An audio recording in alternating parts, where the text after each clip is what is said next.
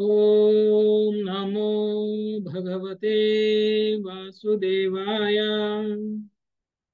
ॐ नमो भगवते वासुदेवाय। ॐ नमो भगवते वासुदेवाय।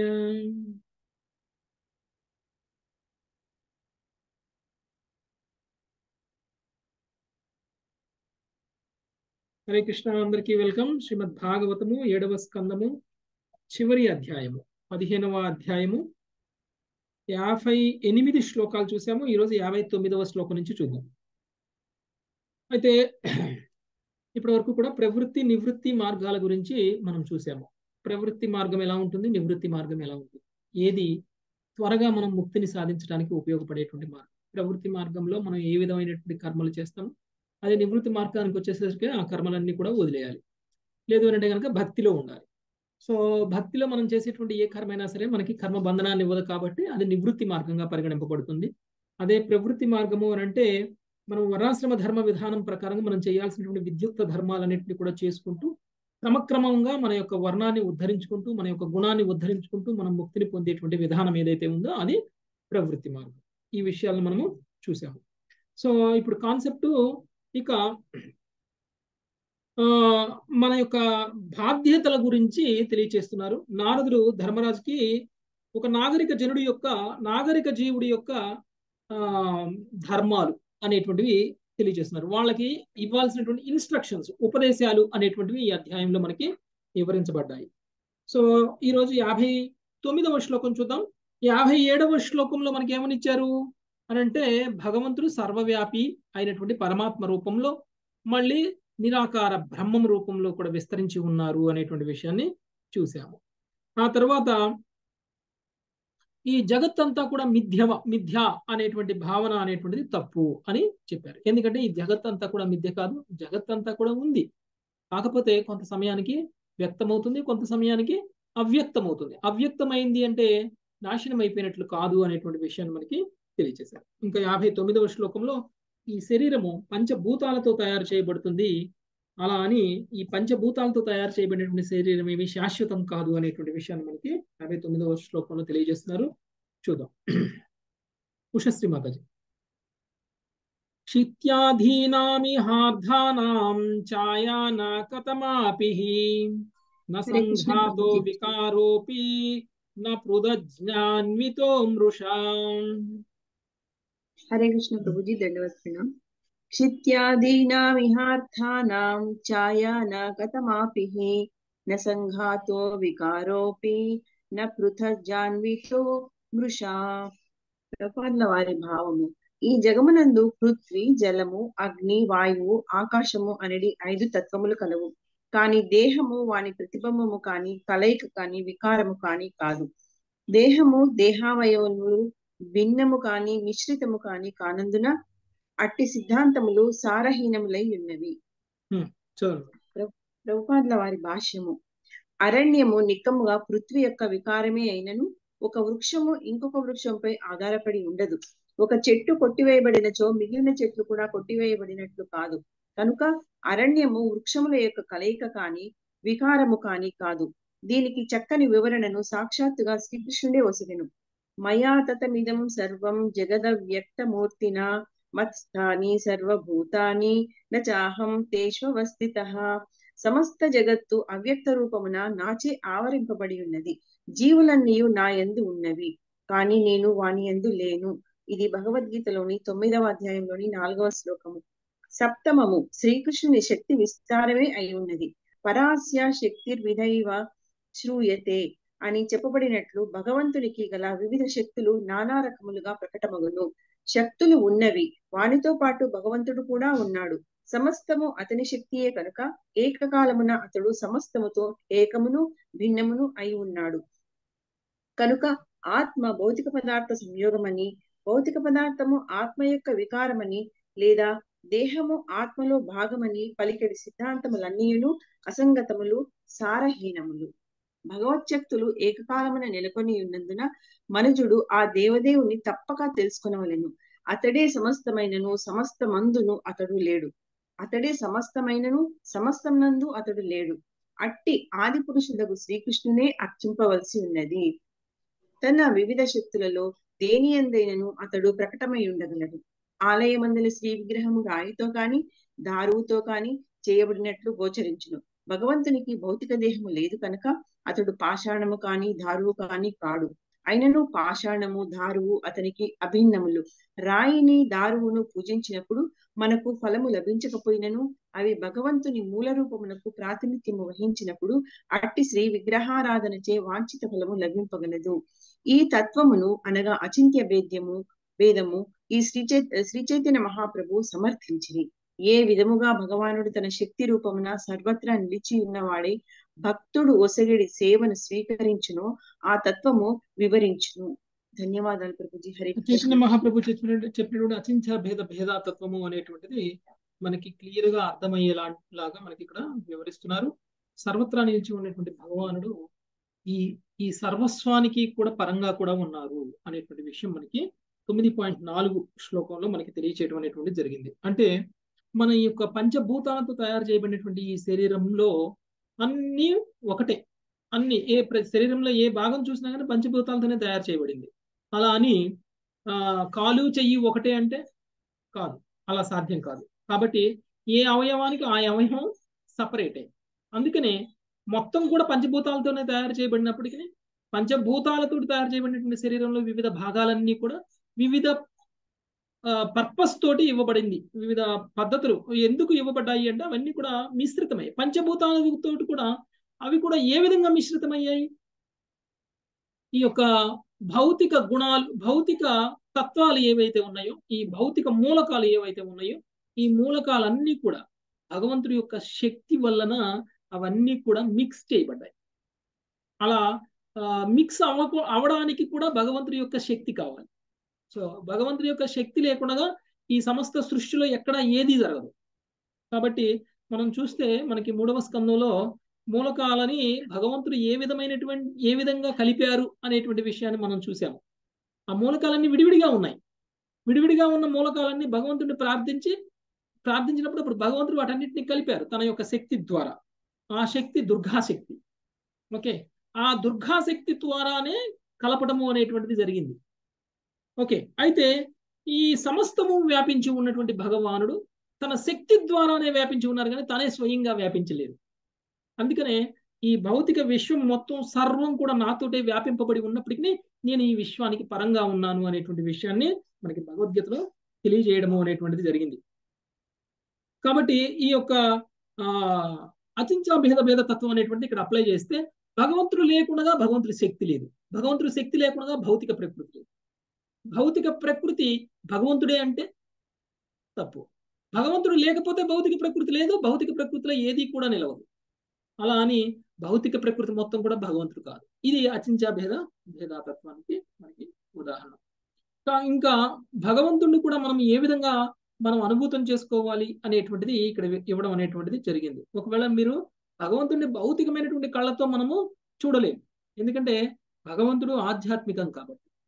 కానీ ఈ భౌతిక విశ్వంలో ఉన్నటువంటి ప్రతి వస్తువులోనూ భగవంతుడి యొక్క శక్తి ఉంది కాబట్టి మనము విగ్రహాన్ని శ్రీ విగ్రహాన్ని తయారు చేసి మన ఇవ్వబడినటువంటి రాయితో కానీ దారుతో కానీ చేయబడిన చేసి దాన్ని మనము ప్రతిష్ఠించి భగవంతుని ప్రతిష్ఠించి ఆ తర్వాత దానికి మనం చేసేటువంటి అర్చన వలన మనము స్వయంగా భగవంతుణ్ణి ఆ ప్రసన్నం చేసుకోగలము. భగవంతుడు భగవంతుడు మనకి ప్రసన్నమై మనకి మన యొక్క ఆ అన్ని రకాల కోరికల్ని తీరుస్తారు. అర్చ విగ్రహ ఆరాధన ద్వారా. సో ఆ రాయి భగవంతుడిని కాదు. అలా అని భగవంతుడికి భిన్నం కూడా కాదు రాయి.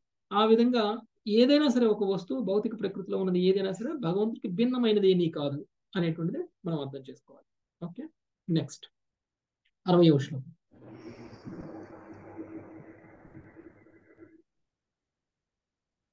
రమేష్ ప్రభు.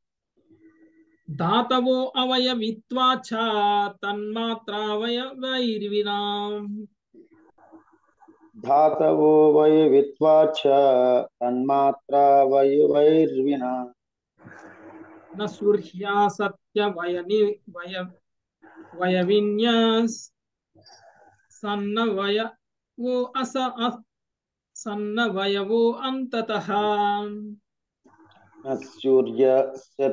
వయ విన్యాసన్నవయ ఓంతః ఓంతతః हरे कृष्ण प्रभु जी धन्यवाद हरे कृष्ण काल Vaishno Devi please accept my humble obeisances ప్రభు కృష్ణ మధ్య దేహము పంచభూతములతో తయారైనందున సూక్ష్మ సూక్ష్మ మగు తన్మాత్రుల లేకుండా అది నిలవజాలదు ఇక దేహము మిథ్య కనుక తన్మాత్రులు కూడా సహజముగానే మిథ్య లేదా తాత్కాలికము అగును. మన శరీరం తయారైనప్పుడు మన శరీరంలో ఆదిభూతము ఆది దైవము ఆధ్యాత్మికము అయినటువంటి అంశాలు అనేటువంటివి ఉన్నాయి. వీటికి తోడు తన్మాత్ర అనేటువంటిది కూడా ఉంది. మనం చూస్తే కళ్ళు చూస్తే కళ్ళు అనేటువంటిది భౌతికమైనటువంటి సాధనం. మనం చూడడానికి ఉపయోగించే భౌతికమైనటువంటి వస్తువు. ఆ కన్ను అనేటువంటిది పంచభూతాలతో తయారు చేయబడింది. ఇక కన్నుకి ఇది ఆదిభూతము అని అన్నాం. తర్వాత ఆధ్యాత్మము ఆధ్యాత్మికము అని అంటే ఈ కంటికి సూక్ష్మ ఇంద్రియము అనేటువంటిది ఒకటి ఉంది. స్థూల ఇంద్రియం కన్ను అయితే సూక్ష్మ ఇంద్రియం ఒకటి ఉంది. అది చక్షువు. ఈ ఈ కన్ను ఈ ఈ కన్ను స్థూల ఇంద్రియము చక్షువు అనేటువంటిది సూక్ష్మ ఇంద్రియము అయినప్పుడు ఇవి ఎలా పనిచేస్తాయి అని అంటే దీనికి ఆది దైవము అనేటువంటి సలహా సహాయం లేకుండా అంటే ఈ యొక్క కంటికి ఆరాధ్య దైవము ఆ ప్రధాన దైవము ఏదైతే ఉందో ఆ దేవత యొక్క సహాయం లేకుండా మనం ఈ కన్ను అనేటువంటి పనిచేయం అదేమిటి? అది సూర్యుడు. సూర్యుడు లేకపోతే మనకి కళ్ళు పనిచేయవు కళ్ళు కనిపించవు. కన్ను ఉంది కన్నుకి చక్షు ఉంది అయినా సూక్ష్మ సూక్ష్మ ఇంద్రియం అనేటువంటిది చక్షు. అంటే ప్రతి స్థూల ఇంద్రియానికి కూడా సూక్ష్మ ఇంద్రియం అనేటువంటిది ఉంది. ఈ స్థూల సూక్ష్మ ఇంద్రియాల యొక్క మిశ్రమం ఏదైతే ఉందో అది పనిచేయాలి అని అంటే భగవంతుడి యొక్క విస్తారం భగవంతుడి యొక్క శక్తి ఆ అధిష్టాన దైవం అనేటువంటిది కావాలి. ఆ అధిష్టాన దైవం ఇక్కడ సూర్యుడు. ఇప్పుడు సూర్యుడు ఉన్నాడు. స్థూల ఇంద్రియము ఉంది సూక్ష్మ ఇంద్రియము ఉంది. మరి ఇంద్రియార్థం కావాలి. ఆ ఇంద్రియార్థం మనం చూసేటువంటి పిక్చర్స్ మనం చూసేటువంటి వస్తువులు ఏవైతే ఉన్నాయో ఇవి ఇంద్రియార్థాలు. ఇలా ఈ స్థూల ఇంద్రియము అనేటువంటిది కూడా భౌతికమైనటువంటిది సూక్ష్మ ఇంద్రియం కూడా భౌతికమైనటువంటిది తరువాత ఇంద్రియార్థం కూడా భౌతికమైనటువంటిది. కాకపోతే స్థూల ఇంద్రియం కనిపిస్తుంది ఇంద్రియార్థం కనిపిస్తుంది కానీ సూక్ష్మ ఇంద్రియం ఏదైతే ఉందో అది కనిపించదు. కాబట్టి కనిపించదగా అంత మాత్రాన అది శాశ్వతం కాదు కనిపించేది కూడా శాశ్వతం ఏం కాదు. ఎందుకంటే ఇది పంచభూతాలతో తయారు చేయబడినటువంటి పంచభూతాల్లో కలిసిపోతుంది. కాబట్టి ఇంద్రియము ఇంద్రియార్థము రెండు కూడా అశాశ్వతమే అని మనకి ఇక్కడ చెప్తుంది. అరవై ఒకటి. ప్రియమాతాజీ సాదృశ్య భ్రమస్తావాద్ వికల్పే వికల్పే సతి వస్తున. హరే కృష్ణ ప్రభు. సాదృశ్య భ్రమస్తవద్వికల్పే సతి వస్తున. జాగ్రాత్ స్వాపౌ యథా స్వప్నే తథా విధి నిషేధత. జాగస్వా స్వా స్వప్నే తదా విధి నిషేధత. భావము పదార్థంను దాని అంశములను వేరు చేసినప్పుడు వాని నడుమ సాదృశ్యంను చూసుట మిత్తయే అనబడను. స్వప్నం నందు మనుజుడు జాగస్వ స్వప్న స్థితులకు భేదంను సృష్టించుకొనును. అటువంటి మానసిక స్థితి అందే విధి నిషేధములను గూడిన శాస్త్ర నియమములు చెప్పబడినవి. భాష్యము. ఈ జగ ఈ జగత్తునందు ఎన్నియో నియమములు ఆచారములు కలవు. ఈ జగత్తు మిథ్య లేదా తాత్కాలికమైనచో ఆధ్యాత్మిక జగత్తు కూడా మిథ్య అనే భావము కాదు. జీవం యొక్క భౌతిక దేహం తాత్కాలికమైనచో భగవానుని దేహము కూడా మిథ్య లేదా తాత్కాలికమని అర్థము కాదు. ఆధ్యాత్మిక జగత్తు నిజమైనట్టిది. భౌతిక జగత్తు దాని వంటిదే. ఉదాహరణకు ఎడారి ఎందు ఎండమావులు గోచరించినను వాని ఎందు జలము ఉండదు. కాని దీని భావము నిజంనకు జలమే లేదని కాదు. జలము ఉన్నది కానీ ప్రస్తుతము ఎడారిలో లేదు. అదే విధంగా ఈ భౌతిక జగత్తులో నిజమైనది ఏదీను లేదు. కానీ వాస్తవిక ఆత్మాది ఆధ్యాత్మిక జగతులో ఉన్నది. భగవద్ రూపము భగవద్ భగవద్ధామము గోలోక బృందావనము అన్నియు శాశ్వత సత్యములే. వాస్తవము ప్రకృతి ఇంకొకటి కలదని భగవద్గీత వలన మనకు తెలియవచ్చుచున్నది. ఈ విషయమును శ్రీకృష్ణుడే స్వయంగా అష్టమధ్యాయము eighteen eight point nineteen to twenty one నందు వివరించినాడు. భూత గ్రామ్ భూత भूतग्रामा स एवा एवायं भूत्व प्रलीयते रात्रग्नो रात्रग्नो गमे वशः वार्ता प्रभावत्त हरागमे। परस्तस्मात् भवो अनन् अनन्यो व्यक्तो अव्यक्त क्वस्य या यास सर्वेषु भूतेषु नश्यतृसु न विन विनश्यति। अवक्तोक्षर इत्वु इत्युक्त सम, समाहो పరమం గతిం. యా ప్రాప్న నివర్తతే తద్ధామ పరమం మమ. బ్రహ్మదేవుని పగటి సమయమందు ఆరంభమైనప్పుడు జీవులు మరలా మరలా వ్యక్తమవుచు అతని రాత్రి సమయము ప్రారంభమైనంతనే అవశిష్యులై నశింతురు. వ్యక్తావ్యక్తములనేటి ఈ భౌతిక ప్రకృతి కన్నను పరమ పరమైనది శాశ్వతమైనది అవ్యక్త ప్రకృతి వేరొకటి లేదు. అది పరమో పరమోత్క పృష్టమును నాశరహితమును అయ్యున్నది. ఈ జగతు నందలి సమస్తము రచించినను అది యథావిధంగా నిలిచియుండును. వేదాంతులు దేనిని అవక్తము అక్షరమును వర్ణింతురో ఏది పరమ గమ్యస్థానమని తెలియబడుచున్నదో ఏ ఏ ఏ స్థానమును పొందిన పిమ్మట జీవుడు వెనుకకు తిరిగిరాడో అదియే నా దివ్యధామము. ఈ భౌతిక జగత్తు అట్టి ఆధ్యాత్మిక జగత్తు యొక్క ప్రతిబింబము. భౌతిక జగత్తు తాత్కాలికము లేదా భ్రాంతి కావచ్చునేమో కానీ ఆధ్యాత్మిక జగత్తు మాత్రము నిత్య సత్యమైనది. హరే కృష్ణ ప్రభు ధన్యవాదములు. సో ఇప్పుడు మనం అందరం కూడా ఏమనుకుంటాము అని అంటే ఈ శరీరము విడిపోయింది అనుకోండి ఈ శరీరంలో ఉన్నటువంటి మూలాలు మూలకాలు లేకపోతే అంశాలు లేకపోతే ఆ అణువులు అవన్నీ విడిపోయాయి అనుకోండి విడిపోయినటువంటి అణువులన్నీ చూసి ఇది శరీరము అని అనుకుంటే అది తప్పు. అంటే ఒక పదార్థము పదార్థంలో ఉన్నటువంటి వివిధ అంశములు. రెండు కూడా ఒకటి కాదు. ఆ అంశాలన్నీ కలిస్తే ఒక పదార్థం అవుతుంది. ఇది ఒకవేళ ఒకటి అని అనుకుంటే అది ఆ మాయా అని అంటున్నారు. ఒకటి అని అనుకుంటే అది మన యొక్క అజ్ఞానం. అది ఇల్యూషన్ అది మనం పొరబడుతున్నట్లు అనేటువంటి విషయం మనకి చెప్తున్నారు. అలానే ఇది ద్వంద్వముల నుంచి బయటపడడం అన్నమాట. ద్వంద్వాల్ ద్వంద్వము. ఇది ఉంది లేకపోతే ఇది వేరు అని అనుకోవడం. ఒకటి రెండు వేరు అనుకోవడం. సో ఈ విధంగా మనిషి శాస్త్రాల్లో చెప్పబడినటువంటి కొన్ని రూల్స్ రెగ్యులేషన్స్. అంటే ఏది చెయ్యొచ్చు ఏది చెయ్యకూడదు అనేటువంటి శాస్త్ర నియమాలు ఏవైతే ఉన్నాయో ఇవన్నీ కూడా ఆ కొన్ని కొన్ని ఎలా ఉంటుందంటే మన మనల్ని మనము ఆ మనల్ని ఏ విధంగా భేదపరుస్తున్నాయి అని అంటే ఏ విధంగా అయితే నిద్రిస్తున్నప్పుడు ఉన్నటువంటి స్థితి మెలకుతో ఉన్నప్పుడు స్థితి ఏ విధంగా అయితే వేరువేరుగా ఉంటాయో ఆ విధంగా శాస్త్రాల్లో చెప్పబడినటువంటి విధి నిషేధములు అనేటువంటి చెప్తున్నారు. అలానే ఈ సమస్త జగత్తు ఏదైతే ఉందో ఈ సమస్త జగత్తులో ఉన్నదంతా కూడా ఇల్యూషన్ మాయ. సో ఎందుకు అంటే ఈ జగత్ అంతా కూడా ఆధ్యాత్మిక లోకానికి ప్రతిబింబం. నిజం అనేటువంటిది ఆధ్యాత్మిక లోకంలో ఉంది. భౌతిక విషయంలో ఓన్లీ ప్రతిబింబమే ఉంది. మనం నీళ్ళలో కనిపించిన ప్రతిదీ కూడా అది నిజమైనటువంటి వస్తువు అవుతుంది. నీళ్ళ చెట్టు మీద ఉన్నటువంటి ఏదైనా నెక్లెస్ మనకి ఒకసారి ఎగ్జాంపుల్ చెప్పుకున్నాం చెట్టు మీద ఒక నెక్లెస్ ఉంది. ఆ నెక్లెస్ నీళ్ళలో ప్రతిబింబంలా కనిపిస్తుంది అనుకోండి. నీళ్ళలో ఉన్నట్ట లేకపోతే చెట్టు మీద ఉన్నట్ట నెక్లెస్ నీళ్ళల్లో దూకి ఎంత నీళ్ళల్లో దూకి ఎంత ఈత కొట్టినా గానీ మనకి నెక్లెస్ అయితే కనిపిస్తుంది కానీ దాన్ని తీసుకోలేము మనం. మనం దాన్ని అనుభవించలేము. కానీ నిజం ఎక్కడుంది అని అంటే పైన ఉంది చెట్టు మీద ఉంది. అలానే ఈ భౌతిక విశ్వంలో ఉన్నటువంటి ప్రతిదీ కూడా ఆధ్యాత్మిక విశ్వంలో ఉన్నటువంటి దానికి ప్రతిబింబం లాంటిది. ఇది నిజం కాదు. ఇది మిథ్యా. ఏ విధంగా మిథ్య?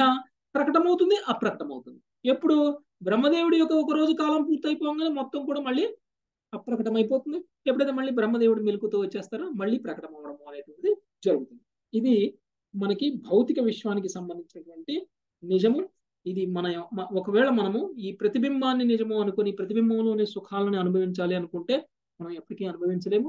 అది నిజం ఎక్కడుందో అక్కడికి వెళ్ళి మనము ఆధ్యాత్మిక జగత్తుకు వెళ్తే మాత్రమే అది మనకి నిజమైనటువంటి ఆనందము అనేటువంటిది దొరుకుతుంది. నెక్స్ట్ అరవై రెండవ శ్లోకం. ఇక్కడ నుంచి అద్వైత సిద్ధాంతం గురించి చెప్తున్నారు. చూద్దాం. అనుపమ మాతాజీ. భావాద్వైతం క్రియాద్వైతం ద్రవ్యాద్వైతం తదాత్మన భావాద్వైతం క్రియాద్వైతం ద్రవ్యాద్వైతం తదాత్మనః వర్తయన్ స్వానుభూతేహ త్రీన్ స్వప్నాం ధనుతే ముని దునుతే ముని వర్తయన్ స్వానుభూత్యేహ త్రీన్ స్వప్నాన్ దునితే మునిః భావాద్వైతము క్రియాద్వైతము ద్రవ్యాద్వైతమనడి మూడింటిని గుర్తించి తాను కార్య కారణములకు భిన్నుడనని అనుభూతమునర్చుకున్న పిమ్మట ముని స్వీయానుభవమును అనుసరించి జా జాగ్రత్త స్వప్నము జాగ్రత్త స్వప్నము సుషు సు- సుషుప్యావస్థలను విడిచును. భాష్యము భావాద్వైతము క్రియాద్వైతము ద్రవ్యాద్వైతము అను మూడు పదములు రాబోవు శ్లోకములలో వివరించబడినవి. ఏదేమైనను మనుజుడు ఈ భౌతిక జగత్తునందు తాత్విక జీవనం అందలి అద్వైత భావనను విడిచి పూర్ణత్వ సాధనకై ఆధ్యాత్మిక జగత్తునందలి నిజ జీవ స్థితికి రావలను. సో. అద్వైతవాదము అనేటువంటిది మూడు రకాలుగా ఉంది. ఒకటి భావాద్వైతము రెండు క్రియాద్వైతము మూడు ద్రవ్యాద్వైతం ఈ మూడు అద్వైత భావాలన్నిటినీ కూడా మనం వదిలేసినప్పుడు వదిలేయాలి. ఎప్పుడైతే మనం ఈ అద్వైతాన్ని వదిలేసి ద్వైతాన్ని నమ్ముతామో అప్పుడు అసలు మనం నిజంగా ఎవరము అనేటువంటిది మనకు అర్థం ఓకే? నేను ఎవరు అనేటువంటి విషయాన్ని తెలుసుకోవాలి అని అంటే మనము ద్వైత సిద్ధాంతాన్ని నమ్మాలి కానీ అద్వైత సిద్ధాంతాన్ని నమ్మితే మనకి సాధ్యం కాదు. ఇవి వదిలేనప్పుడు మనము పూర్ణంగా మన గురించి మనం తెలుసుకొని మన యొక్క సంబంధం భగవంతుడితో తెలుసుకోగలుగుతాం. లేదు అనంటే అద్వైతవాదులు ఏం చెప్తారు? అంతా ఒకటే. సో నేను భగవంతుడు ఒకటే. అనేటువంటి భావనలో ఉంటారు. ఆత్మ పరమాత్మకి ఏమీ తేడా లేదు. ఆత్మ పరమాత్మ ఒకటే అని చెప్తారు. సో అది అద్వైత సిద్ధాంతం. సో ఈ అద్వైత వాదంలో ఉన్నటువంటి భావాద్వైతము క్రియాద్వైతము ద్రవ్యాద్వైతము అనేటువంటి మూడింటి నుంచి కూడా నెక్స్ట్ రాబోయే మూడు శ్లోకాల్లో వివరించడం అనేటువంటి జరిగింది చూద్దాం. ఏంటి సునీత మాతాజీ. హరే కృష్ణ ప్రభుజీ. కార్యకారణ వస్త్రైక్య దర్శనం పటతంతువత్ కార్యకారణ వస్త్వై వస్త్వైక్య దర్శనం పటతంతువత్ అవస్తుద్వాద్వికల్పస్య భావాద్వైతం తదుచ్యతే అవస్తుత్వాద్వికల్పస్య భావాద్వైతం తదుచ్యతే భావము వస్త్రములోని దారములు వస్త్రమునకు భిన్నమైనట్లు కార్యకారణములు ఒక్కటే అనేది ద్వైత భావన. చివరకు అవాస్తవికమని ఎరిగిన వాడు భావాద్వైత స్థితికి వచ్చిన వాడగును. హరే కృష్ణ ప్రభుజీ. ఇది భావాద్వైతం గురించి చెప్తున్నారు ఈ శ్లోకంలో. సో మనకి ఏ విధంగా అయితే ఒక వస్త్రంలో చూస్తే అనేక దారాలతోటి వస్త్రం తయారు చేయబడి ఉంటుంది. అలా అని వస్త్రము దారము ఒకటేనా? దారాన్ని తీసుకొని వస్త్రం అని అనుకుంటే ఒకటే అవుతుందా? కాదు. అంటే. మనకి చూడటానికి దారములు దారము మనం కట్టుకున్నటువంటి షర్టు రెండు ఒకటే. సో అద్వైతవాది ఈ రెండు ఒకటే అంటాడు. కానీ ద్వైతవాది ఈ రెండు వేరు వేరు అని అంటారు. దారం షర్టు కాదు షర్టు దారం కాదు. అలా అని దారం లేకపోతే షర్టు తయారవదు సో ఇది భావాద్వైతము. సో ఎప్పుడైతే మనం ఇది తెలుసుకుంటామో. అప్పుడు భావాద్వైత స్థితికి ఆ, వచ్చినటువంటి వాళ్ళం. అద్వైత స్థితి నుంచి మనం బయటపడినట్టు సో ద్వైత భావనకి చివరకు అవాస్తవికములను ఎరగిన వాడు భావాద్వైత స్థితికి వచ్చినటువంటి అంటే ఈ ద్వైత విషయాన్ని అంటే ఈ రెండు వేరు వేరు అనేటువంటి విషయాన్ని తెలుసుకోలేకపోవడం అనేది భావాద్వైత స్థితిలో ఉన్నట్లు అని చెప్తున్నారు ఓకే? సో దీన్ని దేంతో పోలుస్తున్నారు అనంటే కార్యకారణాలు రెండు ఒకటే అని అనుకునేటువంటి వ్యక్తి భావాద్వైత స్థితిలో ఉన్నట్లు. కార్యకారణాలు రెండు ఒకటి కాదు. కారణము వేరు కార్యము వేరు. రెండు వేరు వేరు. మనం చూసాము. సో కారణ సృష్టి కార్య సృష్టి గురించి మనం చెప్పుకున్నాం మనం. భాగవతం మూడవ స్కందంలో. సో కార్యకారణాలు రెండు ఒకటే అయిపోతే ఇక కార్య సృష్టి వేరుగా ఎందుకు కారణ సృష్టి వేరుగా ఎందుకు ఉండేది? అలా ఉండేది కాదు. కాబట్టి ఈ యొక్క భావాద్వైత స్థితికి నుంచి మనం బయటపడకపోతే ద్వైత భావంలోకి మనం రాలేము. ఈ ద్వైత భావంలోకి వచ్చినప్పుడు మనకి కార్యము వేరు కారణము వేరు అనేటువంటి విషయం మనకు అప్పుడు తెలుస్తుంది. ఓకే నెక్స్ట్ నెక్స్ట్ క్రియాద్వైతం గురించి చెప్తున్నాను. మంగతాయర్ మాతాజీ. యద్బ్రహ్మాణి పరే సాక్షాత్ సర్వకర్మ సమర్పణం. మంగతాయర్ మాతాజీ హరే కృష్ణ. గౌరీ మాతాజీ మీరు చదవండి హరే కృష్ణ ప్రభుజీ. యద్ధర్మాణి పరే సాక్షాత్ సర్వకర్మ సమర్పణం మనోవాక్తనుభిః పార్థ క్రియాద్వైతం తదుచ్యతే మనోవాక్తను విపార్థ క్రియాద్వైతం తదుచ్యతే హరే కృష్ణ ప్రభుజీ దండోత్ ప్రణామం ధర్మరాజా అనగా ఓ పార్థ మనస్సు వాక్కు దేహముతో చేయబడిన సమస్త కర్మలు భగవత్ సేవకే ప్రత్యక్షముగా అర్పించబడినప్పుడు మనుజుడు క్రియాద్వైత స్థితికి చేరును. భాష్యము సమస్తమును కృష్ణ సేవకే అర్పణము చేసేటి స్థితికి ఏ విధముగా రావచ్చును కృష్ణ చైతన్యోద్యమము జనులకు బోధించుచున్నది. ఈ విషయమున శ్రీకృష్ణ భగవానుడు భగవద్గీత తొమ్మిది పాయింట్ ఇరవై ఏడు ఎనిమిది ఇట్లు పలికెను. యత్కరోషి యదస్నాసి యజ్జుషోషి దాసి యత్ కౌంతేయ తత్కురుష్వామదర్పణం ఓ కౌంతేయ నీవు ఏది వనరించినను ఏది భుజించినను ఏది హోమం చేసినను ఏది దాన మొసగినను ఏ తపస్సు నాచరించినను వాటన్నింటిని నాకు అర్పణముగా వనరింపుము. మనం ఏది చేసినను? ఏది భుజించినను? ఏది ఆలోచించినను? ఏది యోచన చేసినను? అది కృష్ణ భక్తి భావన పురోగతికే అయినచో అది ఏకత్వమే. కృష్ణనామ సంకీర్తనము కృష్ణుని కొరకు పనిచేయుట రెండును ఒక్కటే. దివ్య పదమున అవి ఏకయే ఏకమే అయి ఉన్నవి. కాని ఈ ఏకత్వ విషయమున గురుదేవుని నిర్దేశమును పడేయవలసి ఉండునే. కాని మన స్వంత ఏకత్వ భావమును కల్పించుకొనరాదు. హరే కృష్ణ ప్రభుజీ ధన్యవాదాలు. సో ఆ, కర్మ అనేటువంటిది మనం భగవంతుడి కోసం చేసినట్లయితే అది ఏకత్వ భావన అని చెప్తున్నాం. అంతేకాని ఆ, మనము మనం ఏది చేసినా కానీ ఇప్పుడు చూడండి మనస్సు వాక్కు దేహము. అంటే మనసు వాక్కు దేహం అంటే కర్మలు. తోటి చేసేటువంటి సమస్త కర్మలు భగవత్ సేవకే ప్రత్యక్షంగా అర్పించబడినప్పుడు మనుషుడు క్రియాద్వైత స్థితికి చేరుము అంటే మనము క్రియాద్వైత స్థితికి చేరడము అని అంటే గురుదేవుని నిర్దేశంలో మనం భక్తియుత సేవలో ఉండడం. కృష్ణ చైతన్య ఉద్యమం అనేటువంటిది మనకు అదే నేర్పుతుంది. మనము భగవంతుడికి అర్పణగా మనం కర్మలన్నీ చేస్తాము. మనం అందుకనే మనకి ఆ భగవద్గీత తొమ్మిదవ అధ్యాయంలో తెలియజేసినట్లు కర్మని ఏ విధంగా చెయ్యాలి అనేటువంటిది అది అనలాయిడ్ డివోషనల్ సర్వీస్. అంటే శుద్ధ భక్తి గురించి మాత్రమే చెప్తుంది తొమ్మిదవ అధ్యాయం. తొమ్మిదవ అధ్యాయం మనకి రాజవిద్య అని చెప్తారు. అంటే మోస్ట్ కాన్ఫిడెన్షియల్ నాలెడ్జ్ అనమాట పరమగుహ్య జ్ఞానం. అలాంటి పరమగుహ్య జ్ఞానం ఏం చెప్తుంది అని అంటే చేసేటువంటిది మొత్తం నా కోసమే చెయ్యి. ఆలోచన చేసినా నా కోసమే చెయ్యి. కర్మ చేసినా నా కోసమే చెయ్యి. చేసినటువంటి ఫలితాన్ని కూడా నాకే అర్పించు అనేటువంటి విషయాన్ని మనకి తెలియచేయడం అనేటువంటిది ఒకవేళ తపస్సు చేసినా యజ్ఞం చేసినా దానం చేసినా ఏది చేసినా కానీ భగవంతుడి సేవగా కనుక మనం చేసినట్లయితే కనుక అది నిజమైనటువంటి కృష్ణ చైతన్య ఉద్యమం అవుతుంది. అలాంటి కర్మ కూడా ఏకత్వమే అని చెప్తున్నారు. అంటే భగవంతుడి కోసం చేసేటువంటిది ఏకత్వము అని చెప్తున్నారు. నెక్స్ట్ అరవై ఐదవ శ్లోకం. హైమవతి మాతాజీ. ద్రవ్యాద్వైతం ఆత్మజాయా సుతాధీనాం అన్యేషాం సర్వదేహినాం. ఆత్మాజాయ సుధాదీనామన్యేషాం సర్వదేహినాం. యత్స్వార్థకామయోరైక్యం ద్రవ్యాద్వైతం తదుచ్యతే. సర్వార్థకామయోరైక్యం ద్రవ్యాద్వైతం తదుచ్యతే. హరే కృష్ణ ప్రభు. తనది భార్యది సంతానముది బంధుమిత్రులది సమస్తేతర జీవులది చరమ లక్ష్యము మరియు లాభము ఒకటే అయినప్పుడు అది ద్రవ్యాద్వైతం అనబడును. భాష్యము. సమస్త జీవుల యొక్క నిజ లాభము అనగా జీవిత లక్ష్యము భగవద్ధామమును తిరిగి చేరుటయే తనది భార్యది సంతానముది శిష్యులది మిత్రులది బంధువులది దేశం వారిది సమస్త మానవులది. ఇదే నిజమైన ప్రయోజనము.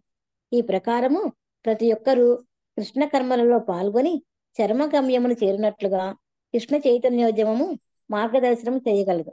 ఎల్లరి నిజలాభము విష్ణువే. కాని ఈ విషయం నెరుగగా నతే విదుహు స్వార్థగతిం హి విష్ణు. వారు జీవితమునందలి కల్పిత లాభమును పొందుటకై నానా రకములకు యో యోచనలను కావించుచుందరు కనుకని మా కృష్ణ చైతన్యోద్యమము ఎల్లరను అత్యున్నతమగు లాభస్థితికి కొనుగోచుటకు యత్నించుచున్నది. పద్ధతి పేరు భిన్నముగా ఉండవచ్చును. కానీ లక్ష్యము ఒకటే అయినచో జీవిత చర్మ లక్ష్య సాధనకు జనులు దాన్ని తప్పగా అనుసరించవలెను. దురదృష్టవశాత్తు జనులు భిన్నాభిన్నములకు లక్ష్యములను కలిగి ఉన్నారు. ఇక అందప్రాయులకు నాయకులు వారిని తప్పుద్రవ పట్టించుతున్నారు పూర్ణ సుఖమైన లక్ష్యమును భౌతికముగా చేరుటకే ప్రతి ఒక్కరు యత్నించుతున్నారు నిజమునకు పూర్ణ అనగా ఏమిటో ఎరుగనందని జనులు వివిధ లక్ష్యముల వైపుకు మళ్ళుతున్నారు హరే కృష్ణ ప్రభు దండవత్ ప్రణామం. సో అద్వైతం అంటే రెండు ఒకటి అని చెప్పడం. అయితే ఇక్కడ ద్రవ్యాద్వైతము అనేటువంటి విషయానికి వచ్చేటప్పటికి నీ లక్ష్యము నా లక్ష్యము ఒకటే. ఎప్పుడు అవుతుందో అది ద్రవ్యాద్వైతము అవుతుంది. అంటే ఆ సమస్త ప్రజల యొక్క లాభము లేకపోతే లక్ష్యము ఒకటే అయినప్పుడు అది సరి అయినటువంటి భావన. అందరి యొక్క లక్ష్యము విష్ణువు అని ఎప్పుడైతే తెలుసుకోగలుగుతామో ఎప్పుడైతే మనం అనుకోగలుగుతామో అప్పుడు మనం ద్రవ్యాద్వైత స్థితిలో ఉన్నది ఓకే? నా గమ్యం వేరు నీ గమ్యం వేరు అని అనుకుంటే అది ద్రవ్యాద్వైతం కాదు. మనందరి యొక్క గమ్యము ఒకటే గమ్యము అది కృష్ణ భగవాన్. సో అలా అలా కాకపోతే మనం తప్పుదోవ పడిపోయినట్టే. యాక్చువల్ నిజమైనటువంటి స్వార్థం ఏమిటి అని అంటే మన కుటుంబ సభ్యులందరినీ కూడా ఒక్క తాటి మీద అందరినీ కూడా భక్తి చేయించగలగడం అలా భక్తి చేయడం వల్ల అందరూ ఒకే గమ్యానికి చేరగలగడం. ఇది ఇది నిజమైనటువంటి స్వార్థం. అయితే మన స్వార్థము అనేటువంటిది మన కుటుంబ పరిధిలోనే కాకుండా విస్తరించాలి ఎక్స్టెండ్ అవ్వాలి. ఎలా అంటే సమస్త ప్రజలకు కూడా ఒకటే లక్ష్యంగా మారిపోవాలి. అది నిజమైనటువంటి ద్రవ్యాద్వైతం అవుతుంది అని ఇక్కడ చెప్తున్నారు. నెక్స్ట్ అరవై ఆరవ శ్లోకం.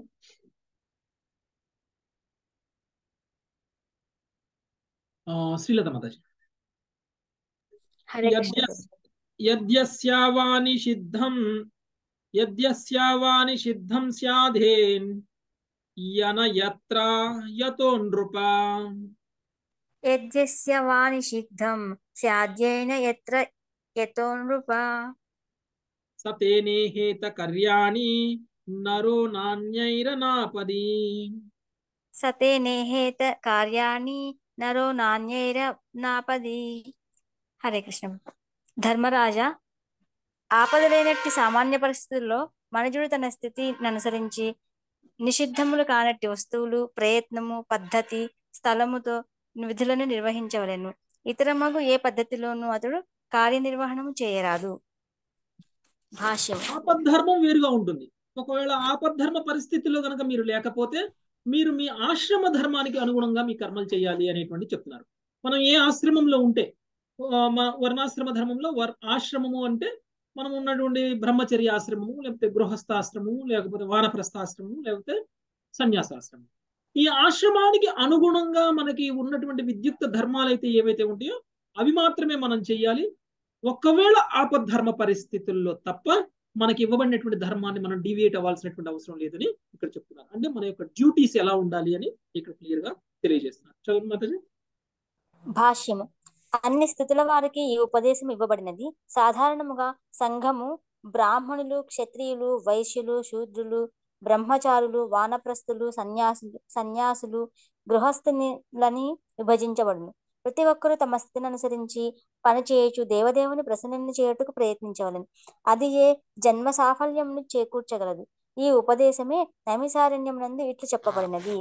అత పుంభిద్విజ శ్రేష్ట వర్ణ ఆశ్రమ విభాగశ స్వనిష్ఠితస్య ధర్మస్య సంసిద్ధిర్ హరితోషణం ద్విజశ్రేష్ఠులారా కనుక శ్రీకృష్ణ భగవానుని ప్రసన్నని చేయుటయే వర్ణాశ్రమ పద్ధతి అనుసరించి మనుజుడు స్వధర్మ నిర్వహణ ద్వారా పొందడి అత్యున్నత పూర్ణత్వమని నిర్ణయించబడినది. భాగవతము ఒకటి పాయింట్ రెండు పాయింట్ పదమూడు ప్రతి ఒక్కరూ భగవత్ప్రీత్యర్థమే స్వధర్మానుసారము వర్తించవలసి ఉండును. అప్- అప్పుడే అతను సుఖభాగుడు కాగలడు. హరే కృష్ణ ప్రభు.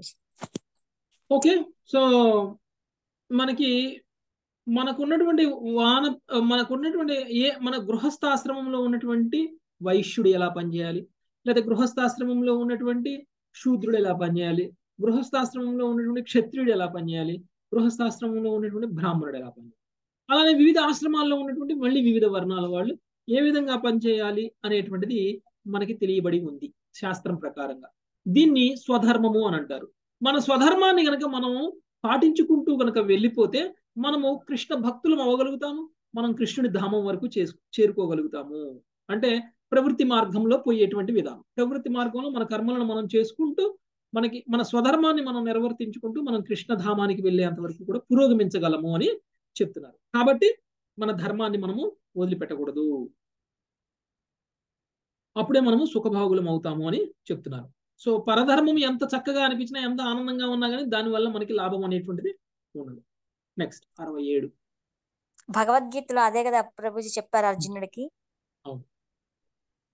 రమ్య మాతాజీ హరే కృష్ణ ప్రభు ఏతైరన్యైశ్చ వేదోక్తైర్వర్తమానః స్వకర్మభిः ఏతైరనచ్చ వేదోక్తైరక్తమానస్వకర్మభిः గృహే అప్యస్య గతిం యా గృహే అప్యస్య గతిం యాయాద్రాజం తద్భక్తి భా- భాజ్నరః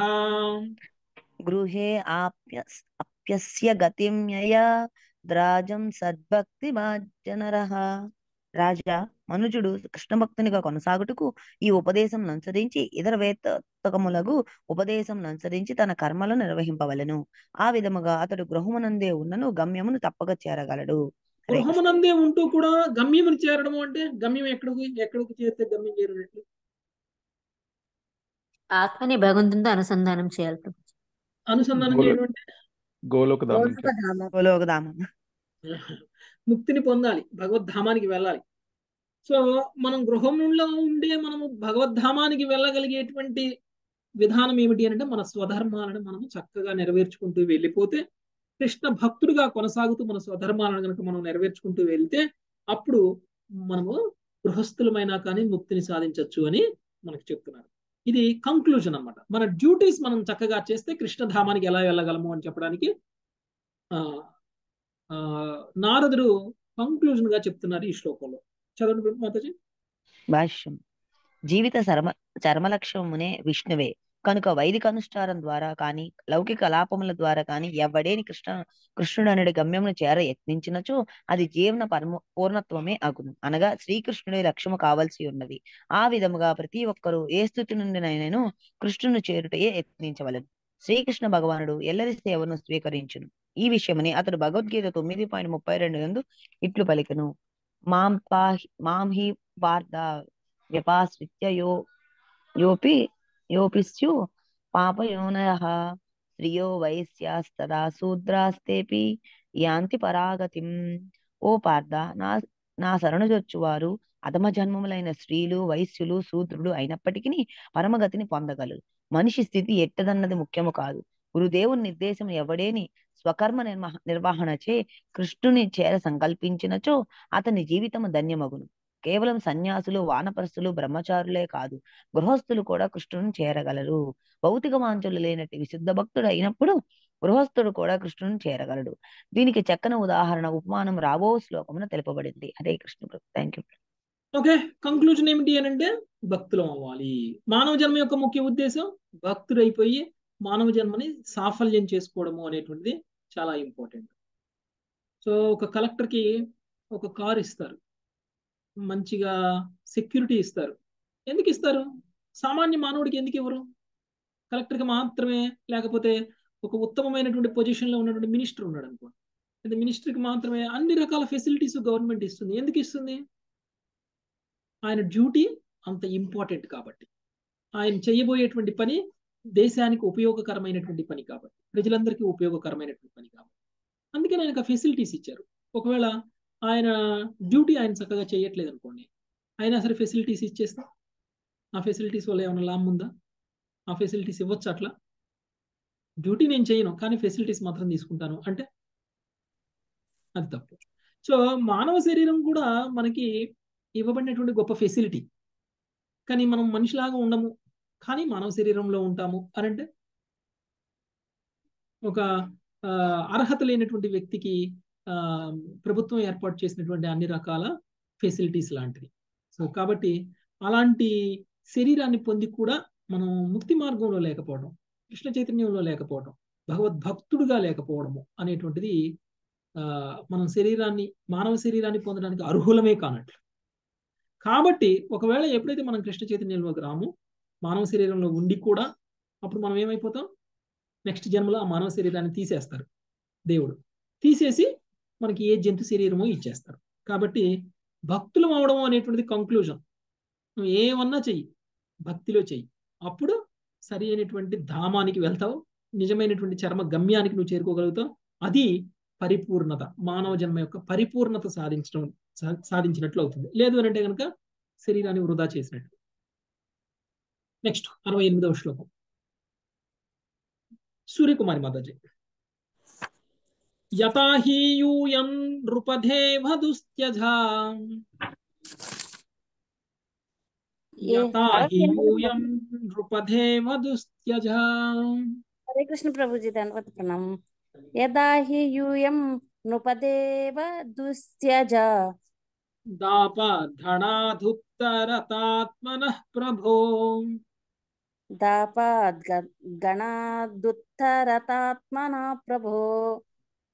ప్రభో దాపాద్ గణాదుత్తరతాత్మనా ప్రభో యత్పాదపంకేరుహ సేవయా భవ యత్పాదపహేంగే గేరుహ సేవయా భవ నహారషీన్పి షిన్నిర్ నహారషేన్నిర్జిత దిగ్గజ క్రతూన్ నహారషిన్నిర్జిత దిగ్గజ క్రతూం హరే కృష్ణ ప్రభుజీ ధర్మరాజా దేవదేవుడకు శ్రీకృష్ణుని సేవించుట వలన మీరందరూ పాండవులు. పలువురు రాజులు దేవతలు కలిగించిన విపత్తులను దాటగలిగిరి. కృష్ణపాద పద్మ సేవలోనే మీరు దిగ్గజములు వంటి శత్రువులను జయించి యజ్ఞ సంభారములను యజ్ఞ సంభారములను సంపాదించిరి. అతని అనుగ్రహముచే నీవు భవబంధ విముక్తుడవయ్యదవు. తనను ఒక సామాన్య గృహస్థునిగా తెలు తెలుపుకొనుచు ధర్మరాజు గృహ మూఢాది గృహస్థ జీవననే తగులుకొని మూఢినిగా నిలిచియుండువాడు గృహ మూఢాది యగువాడు ఎట్టు తరింపగలడనుచు వారు నారదమునిని ప్రశ్నించను. నీవు నీ కుటుంబం అంతయు కృష్ణ భక్తులే కనుక మీరందరూ సురక్షితముగానే ఉన్నారు. అనుచు అప్పుడు నారదముని అతన్ని ప్రోత్సాహపరిచను. కృష్ణకరుణచే పాండవులు కురుక్షేత్ర రండమున జయించిరి. రాజులే గాక ఒక్కొక్కప్పుడు దేవతలు కలిగించిన విపత్తుల నుండి బయటపడేది ఈ విధముగా కృష్ణానుగ్రహంతో ఏ రీతి సురక్షితంగా జైవించవచ్చునో తెలుపుటకు వారు చక్కని ఉపమానంగా నైరి కనుక ప్రతి ఒక్కరు పాండవుల ఉపమానమునే అను అనుసరింపవలెను. కృష్ణానుగ్రహంను ఏ విధంగా రక్షణ పొందవచ్చునో వారు చక్కగా చూపించిరి. ఈ భౌతిక జగత్తులో ఎట్లు ప్రశాంతంగా జీవించి చివరికి భగద్ధామను చేరవచ్చునో ఎల్లరకు బోధించుటకే మా కృష్ణ చైతన్యోద్యమము ఉద్దేశింపబడినది. ఈ జ భౌతిక జగత్తులో అడుగడుగున ప్రమాదములు పొంచి ఉన్నవి పదం పదం యద్విపదం నా తేషం. అయినను ఎవడేని నిస్సంకోచముగా కృష్ణును ఆశ్రయించి ఆ దేవదేవుని రక్షణలో నిలిచినచో అవిద్యాసాగర్ను సులభముగా దాటగలడు. సమాశ్రిత ఏ పదవ పదపల్లవ ప- ప్లవం మహత్పదం పుణ్యయసో మురారెహే. అనగా భక్తునికి ఈ అవిద్యాసాగరము ఆవుగిట్ట ముద్రలోని జలముతో సమానమగును. ఈ ప్రకారం విశుద్ధ భక్తుడు తన ఉద్ధారమునకై పలు రీతుల ప్రయాస పడకనే కృష్ణదాసునిగా అత్యంత సురక్షితమగు స్థితిలో నిలిచి ఉండెను. నిస్సందేహముగా అతని జీవితము నిత్య సురక్షితమై ఉన్నది. Thank you Prabhuji. హరే కృష్ణ ప్రభుజీ. ఇక్కడ. పాండవుల యొక్క అదృష్టం గురించి మాట్లాడుతున్నారు. పాండవులకి ఇప్పుడు ఈయన నారదుడు ధర్మరాజుతో మాట్లాడుతున్నారు. సో పాండవులకి ఎందుకు పాండవులు ఎందుకు గొప్పవాళ్ళు? పాండవులకు ఉన్నటువంటి అదృష్టం ఏమిటి అనేటువంటి విషయం ఇక్కడ చెప్తుంది ఏమిటి అని అంటే మీరు ఎల్లప్పుడూ కూడా శ్రీకృష్ణ భగవాను సేవిస్తూ ఉన్నారు కాబట్టి ఇతర రాజుల వలన దేవతల వలన ఎలాంటి విపత్తులు మీకు కలగలేదు. పైగా ఇతర రాజులు మీకు సహకరించారు. దేవతలు కూడా మీకు సహకరించారు. ఎందుకు? మీరు కృష్ణుడి యొక్క పాదపద్మాలను ఆశ్రయించున్నారు కాబట్టి మీకు మీరు ఎల్లప్పుడూ కూడా కృష్ణుడికి సేవ చేస్తూ ఉన్నారు కాబట్టి మీరు భక్తులుగా ఉన్నారు కాబట్టి మీకు ఎలాంటి ప్రకృతి పరంగా రావాల్సినటువంటి విపత్తులు రాలేదు. శత్రు రాజుల నుంచి రావాల్సినటువంటి విపత్తులు కూడా మీకు రాలేదు. అది. మన- నిన్న క్లాస్లోనూ మొన్న క్లాస్లో నన్ను ఎవరో అడిగారు. మేము అందరం కూడా దేవతారాధన చేస్తూ ఉండిపోయాము. ఇప్పుడు దేవతారాధనని ఆపేయకపోతే మరి మాకు భయం వేస్తుంది ఏమైద్దో అని. ఎప్పుడైతే మనం కృష్ణ భక్తులం అయిపోతామో కృష్ణుడిని ఆశ్రయిస్తామో దేవతలు కూడా మనకి సహకరిస్తారు అనేటువంటి విషయం ఇక్కడ చెప్తున్నారు. నా స్వయంగా నారదుడే చెప్తున్నారు ధర్మరాజుకి. ధర్మరాజుకి ఉన్నటువంటి ధర్మరాజు యొక్క రాజ్యం ఎలా ఉండేది? ధర్మరాజు పాలన ఎలా ఉండేది అనేటువంటి మనం మొదటి స్కందం పదవ అధ్యాయంలో చూస్తే మొదటి ఆరు శ్లోకాల్లో వివరింపబడింది. ధర్మరాజు యొక్క పాలన చాలా గొప్పగా ఉండేది. ధర్మరాజు పాలనలో ప్రజలందరూ కూడా ఎంత గొప్పగా ఉన్నారు?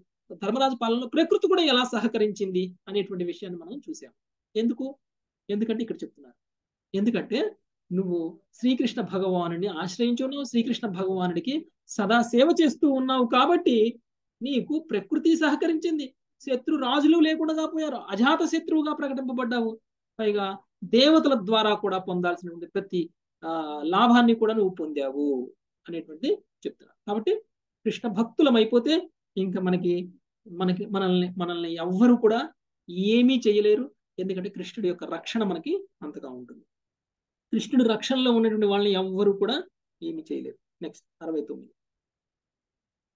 సత్యవతి మాత హరే కృష్ణ ప్రభుజీ అహం పురా భవం కశ్చిద్ గంధర్వా ఉపబర్హణ అహం పురా భవం కశ్చిత్ గంధర్వ ఉపబర్హణ నామ్నాతీతే మహాకల్పే గంధర్వాణాం సునం సుసమ్మత నామ్నాతీతే మహాకల్పే గంధర్వాణాం సుసమ్మత పూర్వం మరొక మహాకల్పమున అంటే బ్రహ్మకల్పము నేను ఉప బర్హుడను గంధర్వునిగా నుండి ఇతర గంధర్వచ్చే సమ్మానితుడనై ఉంటేని. భాష్యం నారదముని తన కడిచిన జన్మంనే ఉపమానంగా చెప్పుచున్నాడు. పూర్వము బ్రహ్మకల్పమున అత గంధర్వునిగా ఉండెను. గంధర్వులు అత్యంత సుందరులు గానుకోవితులై ఉందురు. మున్ముందు వివరింపబడుతున్నట్లు దురదృష్టవశాత్ అతడు తన మహోన్నత గంధర్వలోక స్థితిని పతనం చెంది శూద్రునిగా నయ్యను. అయిన అతడు గంధర్వలోకం నందున్నప్పటి కన్నను తిరిగి భక్తుల సాంగత్యంచే అత్యంత భాగ్యశాలి అయ్యను ప్రజాపతుల శాపముచే అతడు శూద్రునిగానైనను. తదుపరి జన్మమున బ్రహ్మ మనసుపుత్రుడయ్యను మహాకల్పి అను పదము పదమును శ్రీల మధ్వాచార్యులు అతీత బ్రహ్మకల్పే అని వివరించిరి. కోట్ల కొద్ది సంవత్సరముల ఆయువు కలిగిన జీవితము ముగిసిన పిమ్మట బ్రహ్మదేవుడు తను చాలించును. బ్రహ్మదేవుని ఒక్కరోజు అంటే భగవద్గీత పద్దెనిమిది పాయింట్ పదిహేడు ఇట్లు వివరింపబడినది. సహస్రేక పర్యంత మహర్యత్ బ్రహ్మణో విధో రాత్రిమిగ సహస్రాణం తేహో రాత్రి విధో జనా. మానవ పరిగణమును అనుసరించి వే యుగముల కాలము బ్రహ్మదేవునికి ఒక పగలు కాగలదు. అతని రాత్రి సైతం అంతే పరిమాణము కలిగిను శ్రీకృష్ణ భగవానుడు కోట్ల కొద్ది సంవత్సరాల కిందట జరిగిన సంఘటనలను గుర్తు గుర్తుంచుకొనగలను. అట్లే నారదముని వంటి అతి అతని విశుద్ధ భక్తులు కూడా కోట్ల కొద్ది సంవత్సరాల కిందటి పూర్వజన్మ విశేషములను గుర్తుంచుకొనగలడు. హరే కృష్ణ ప్రభుజీ. మనం ఇంతకు ముందు కూడా నారదుడి యొక్క పూర్వజన్మ వృత్తాంతం మనం చర్చించాం. గుర్తుందండి? నారదుడు పూర్వజన్మలో ఎవరు? గంధర్వుడు ప్రభుజీ. ఒక దాసిపుత్రుడు దాసిపుత్రుడు అది వరకు ఆ తర్వాత అంతకుముందు అంతకు ముందు గంధర్వుడు. గంధర్వుడు. గంధర్వుడి. యొక్క చరిత్ర కూడా మనం అక్కడ చర్చించాం. యాక్చువల్గా మనం చూస్తే యాక్చువల్గా దాసిపుత్రుడు గురించే మనకి మొదటి స్కందంలో చెప్పబడి ఉంది. కదా? కానీ మనము గంధర్వుడిగా ఉన్నప్పుడు కూడా మనం చర్చించాము. అంటే క్షు- క్లుప్తంగా మనం గంధర్వుడిగా ఉన్నప్పుడు స్టోరీ గురించి మనం చదివాము. దాన్ని ఇక్కడ ఉదాహరణగా చెప్తున్నారు. నేను ఇంతకు ముందు ఎలా ఉండేవాడిని అనేటువంటిది. ఓకే? అయితే మనకి రాబోయేటువంటి కొన్ని శ్లోకాల్లో ఈ గంధర్వుడిగా ఉన్నప్పుడు ఆ శిపింపబడి దాసీపుత్రుడిగా పుట్టడము అనేటువంటి దాని గురించి ఇక్కడ వివరించడము అనేటువంటిది జరిగింది. అయితే ఇది ఎప్పుడు జరిగింది? ఒక కల్పంలోనే మనం అనేక జన్మలు తీసుకుంటాం. లక్ష జన్మల పైన తీసుకుంటామేమో లేకపోతే ఓ పది లక్షల జన్మలు తీసుకుంటాం. కోటి జన్మలు తీసుకున్నాం తీసుకున్నాం ఎందుకంటే ఒక కల్పం అంటే వంద సంవత్సరాలు కాదు. ఒక కల్పం అంటే ఎంత? వెయ్యి యుగ చక్రాలు. ఓకే? ఒక కల్పం అంటే వెయ్యి యుగ చక్రాలు. ఒక యుగ చక్రం అంటే నాలుగు మన ఒక యుగ చక్రం అంటే ఎంత? నాలుగు యుగాలు కలిపి ఎంత అయితే ఉంటుందో సమయం? అంత. అంటే ఒక కలియుగమే నాలుగు లక్షల ముప్పై రెండు వేల సంవత్సరాలు. చూస్తే నలభై మూడు లక్షల సంవత్సరాలు పైన ఉన్నటువంటి ఈ యొక్క ఏదైతే ఉందో అది ఒక యుగం. ఒక యుగంలోనే మనం ఎన్ని జన్మలు తీసుకుంటామో తెలియదు. అలాంటిది నాలుగు యుగాల్లో కలిపి మనం ఎన్ని జన్మలు తీసుకుంటామో తెలియదు. ఇక కల్పంలో చూస్తే కొన్ని కోట్ల జన్మలు తీసుకుంటాం మనం. అంటే ఇప్పుడు నారదుడికి గుర్తున్నటువంటి విషయం ఎప్పటికి ఈ కల్పంలోనే ఆయన గంధర్వుడిగా ఉన్నటువంటి విషయం గురించి చెప్పట్లేదు. ఆయన ఈ కల్పంలో నారదుడు. ఇంతకు ముందు కల్పంలో శూద్రుడు పుత్రుడు. అంతకంటే ముందు ముందు కల్పాల చాలా కల్పాల ముందు ఆయన గంధర్వుడు. గంధర్వుడు. కల్పాల క్రితం జరిగినటువంటి విషయాన్ని కూడా నారదుడు ఇప్పటికీ కూడా గుర్తుపెట్టుకోగలిగారు అది ఒక శుద్ధ భక్తుడి యొక్క గొప్పతనం. ఒక శుద్ధ భక్తుడికి ఎన్ని కల్పాల క్రితం జరిగినటువంటి విషయాలు కూడా గుర్తుంటాయి? అది మనకి ఇక్కడ తెలియజేస్తున్నారు. సో కాబట్టి ఈ నారదుడు ఇంతకు ముందు కల్పంలో ఒక గంధర్వుడుగా ఉండేవాడు మిగిలినటువంటి గంధర్వులు అందరితోటి కూడా గౌరవింపబడేటువంటి వాడు అలాంటి వాడు ఏ విధంగా మళ్ళీ శూద్రుడుగా జన్మించారు అనేటువంటిది మనం చూద్దాం. నెక్స్ట్ డెబ్బైవ శ్లోకం. నీలరాణి మాతజీ. రూపపేశల మాధుర్య సౌగంధ్యా ప్రియదర్శన. నీలరాణి మాతజీ హరే కృష్ణ. సుజాత మాతజీ చదవండి. రూపపేశల మాధుర్య సౌగంధ్య ప్రియదర్శన స్త్రీణాం ప్రియతమో నిత్యం మత్తః స్వపురలంక స్వపురలంపట స్త్రీణాం ప్రియతమో నిత్యం మత్తః స్వపురలం పట నేను సుందరమైన ముఖమును మనోహరము ఆకర్షణీయమగు శరీరాకృతిని కలిగి ఉంటుంది గంధపు మాలలతో అల అలంకరించుకొన నేను. పురశ్రీలకు ప్రియదర్శన ప్రియదర్శనుడనై ఉంటుంది ఆ రీతి సదా కామ వాంఛితుడన మిగుల మోహగ్రస్తుడనైతిని భాష్యము. గంధర్వ లోకమున సర్వులు అత్యంత సుందరులు మనోహరులు చందనపు మాలలతో అలంకరించుకొని కొనిన వారు అయి ఉన్నట్లు నారదుడు గంధర్వినిగా ఉన్నప్పటి రూపవర్ణమును బట్టి గోచరించుచున్నది. నారదుడు అప్పటి పేరు ఉపబర్హనుడు. స్త్రీల దృష్టిని ఆకర్షించుటకు చక్కగా అలంకరించుకొనుటలో ఉపబర్హనుడు అత్యంత ప్రవీణుడై ఉండెను. రాబో శ్లోకములో తెలుపబడినట్లు ఈ రీతి అతడు శ్రీలంపటుడయ్యను. ప్రస్తుత జన్మలో శ్రీలంపటునిగా నవ్వుట ఎవరికైనాను మిగుల దురదృష్టమే. ఏలయనగా స్త్రీ ఆసక్తిచే అతడు శూద్రునిగా పతనము చెందగలడు. స్త్రీలతో విచ్చలవిడిగా కలియుటకు శూద్రులలో చక్కని అవకాశము లభించగలదు. ప్రస్తుత కలియుగమున జనులు శూద్ర స్వభావులే ఉన్నందున అనగా మద్దాహ సమర్థమతయ అని విచ్చలవిడి కలయిక ప్రబలముగా నుండును. ఉత్తన ఉత్తన వర్ణము ఉన్నత వర్ణములైన. ఉన్నత ఉన్నత వర్ణములైన బ్రహ్మణ బ్రాహ్మణ క్షత్రియ వైశ్యులలో పురుషులు స్త్రీలతో విచ్చలవిడిగా కలుసుకున్నటకు అవకాశం ఉండదు. కానీ శూద్రులలో అది సర్వ సమానత్వము సమాన సామాన్యము. ప్రస్తుతము సంస్కృతికి సంబంధించిన విద్య లేనందున ఎల్లరూ ఆధ్యాత్మిక శిక్షణను పడే పడయని వారే అయి ఉన్నారు కనుక ఎల్లరూ శూద్రులుగానే పరిగణింపబడదురు. అధ శూద్రకల్పాహి బ్రాహ్మణ కలి సంభవ జనులందరూ శూద్రులే అయినప్పుడు నిక్కముగా వారు దుష్టులే ఎవరు మందహ సుమన్ సుమంతమతయ ఆ విధముగా వారు తమ సొంత జీవన రీతిని తయారు చేసుకొని తత్ఫలితముగా క్రమముగా భాగ్యహీనులైన భాగ్యహీనులుగా నై మందభాగ్య నానా రకములకు పరిస్థితులతే సదా కలత చెందుదురు. హరే కృష్ణ ప్రభు. ఓకే సో నారదుడు గంధర్వుడుగా ఉన్నప్పుడు ఆయన పేరేంటి? ఉపబర్హనుడు ఈ ఉపబర్హనుడు చాలా అందంగా ఉండేవాడు. ఈ ఉపబర్హనుడు చాలా అందంగా ఉండేవాడు. ఎంత అందంగా ఉండేవాడు? తన అందానికి తోడు తన అలంకరణ కూడా చాలా బాగా చేసుకునేవాడు. ఈ అలంకరణ ఈ అందము రెండిటి వలన చాలా మంది స్త్రీలు ఆయన్ని ఆకర్షించేవాళ్ళు. సో ఆ విధంగా ఆయన స్త్రీ లంపటుడు అవడము అనేటువంటిది జరిగింది. ఎప్పుడైతే ఎక్కువ మంది స్త్రీలతోటి ఎక్కువగా సాంగత్యం గడిపేటువంటి వాళ్ళు ఎవరు అని ఉంటారు అని అంటే శూద్రులై ఉంటారు. జనరల్గా శూద్రులలో ఇలాంటి అక్రమ సంబంధము అనేటువంటిది చాలా ఎక్కువగా ఉంటుంది. అదే ఉత్తమ వర్ణాల వాళ్ళకి వెళ్ళినప్పుడు ఇలాంటి అక్రమ సంబంధం అనేటువంటిది తక్కువగా ఉంటుంది. కాబట్టి ఇక్కడ నారదుడు ఇంతకు ముందు జన్మలో ఉపబర్హణుడుగా ఉన్నప్పుడు చాలా మంది స్త్రీలతోటి సాంగత్యాన్ని కలిగి ఉండేవాడు అనేటువంటిది ఇక్కడ చెప్తున్నారు. నెక్స్ట్ మల్లిశ్రీ మాతాజీ ఏకదా దేవ సత్రేతు గంధర్వాప్సరసాంగణాః. ఏకదా దేవ సత్రేతు గంధర్వాప్సరసాం గణాః ఉపహూత విశ్వశృంభి హరిగాధోపఘాయనే ఉపహూత విశ్వసృగ్భి హరిఘాధోపగాయనే ఒక మారు దేవతా సభలో దేవదేవుని యశోగానమును సంకీర్తనోత్సవం ఏర్పాటు చేయబడింది దానిలో పాల్గొనుటకు గంధర్వులు అప్సరసులు ప్రజాపతులు ఆహ్వానించిరి. ప్రభుపాది వారి భాష్యము. పవిత్ర హరినామము కీర్తించుటియే సంకీర్తనము.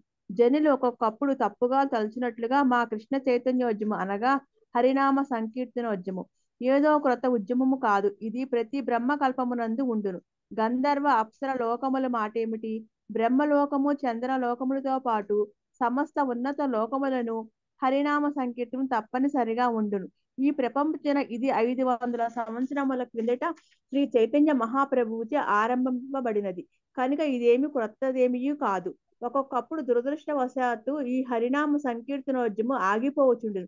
కానీ సమస్త ప్రపంచము అనగా సమస్త విశ్వము యొక్క చరమలాభమునకు చైతన్య మహాప్రభు ఆయన అనుయాయులు తిరిగి ఆ ఉద్యమును ఆరంభించుదురు.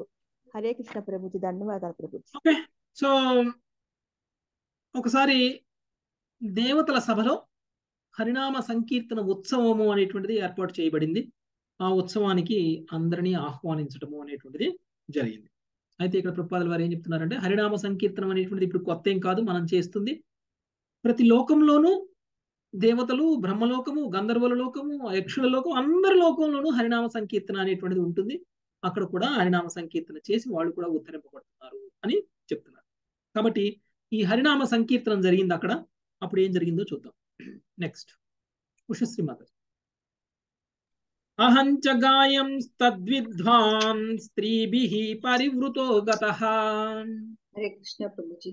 అహం చ గాయం తద్విద్వాన్ స్త్రీభిః పరివృతో గతః జ్ఞాత్వా విశ్వసృజస్తన్మే హేళనం సే పురోజస జ్ఞాత్వా విశ్వసృజస్తన్ సృజస్తన్మే హేళనం సే పురోజస పురోజస యహి త్వం శూద్రతామాశు నష్టశ్రీకృతహేళనః యాహి త్వం శూద్రతామాశు నష్ట శ్రీహి కృతహేళనః పొరపాట్ల వారి భావం నారదముని పలకసాగెను. ఆ ఉత్సవమునకు ఆహ్వానింపబడిన వాడనై నేను కూడా దాని ఎందు పాల్గొని స్త్రీజన పరివృత్తుడనై దేవతల యశస్సును రాగయుక్తముగా పాడజొచ్చుతిని. ఈ కారణమున ప్రజాపతులు నన్ను అపరాధ అపరాధము చేసి కనుక వెంటనే సౌందర్యహీనుడవైన శూద్రుడవు అగుము అని శపించిరి. ఓకే సో నారదుడు కూడా తన స్త్రీలతో కూడి ఆయన కూడా ఈ యొక్క సంకీర్తన ఉత్సవానికి వెళ్ళడము అనేటువంటిది జరిగింది. ఎప్పుడైతే ఈయన సంకీర్తన ఉత్సవానికి వెళ్ళారో అక్కడ ఈయన స్త్రీలంపటుడుగా అక్కడ ప్రవర్తించడము అనేటువంటిది జరిగింది. ఇదంతా కూడా ఒక శూద్రుడు లక్షణాలు. ప్రత్యేకించి ఆధ్యాత్మిక కర్మలు జరుగుతున్నటువంటి ప్రదేశంలో స్వయంగా భగవంతుణ్ణి కీర్తిస్తున్నటువంటి సమయంలో మనల్ని మనం కీర్తించుకునేలాగా లేకపోతే ఈ యొక్క నారదుడు ఉపబర్హుడు అయినటువంటి వ్యక్తి తన కీర్తన కూడా ఎలా ఉంది అని అంటే ఆ ఎలా ఉందంట? రాగయుక్తంగా లేదు. సో ఇష్టం వచ్చినట్లు పాడేశాడు. సో అందుకనే అలా ఉండడానికి కారణం ఏంటి? అప్పటికే బాగా ఫుల్గా ఆయన మత్తులో ఉన్నాడు కాబట్టి. సో మత్తులో స్త్రీలతో కలిసి ఉన్నటువంటి నారదుడు ఈ విధంగా చేసినటువంటిది చూసి అక్కడ ప్రజాపతులు అందరూ కూడా ఆయన్ని శపించటం జరిగింది. ఏమని అంటే నువ్వు సౌందర్యహీనుడవై శూద్రుడు అవుగాక అని శపించడం జరిగింది. నెక్స్ట్ డెబ్బై మూడవ శ్లోకం. స్టోరీ లైన్ కాబట్టి స్టోరీ లైన్ కాబట్టి మనము కంప్లీట్ చేసుకుందాం మాతాజీ. ఇంపార్టెంట్ విషయాలు ఏమైనా ఉంటే నేను చెప్తాను. డెబ్బై మూడవ శ్లోకం.